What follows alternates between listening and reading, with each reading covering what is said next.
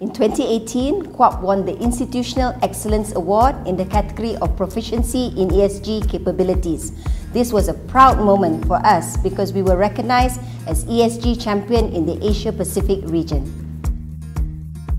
Hi, my name is Siti Ilmiah Ramli. I am the HR Director and this is KWAP.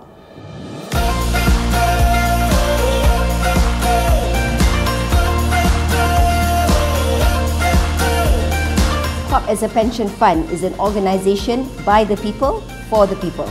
And most recently at the HR Excellence Award 2022, our CEO won the Bronze Award for the most people-focused CEO. We believe that everyone deserves to enjoy a sustainable retirement.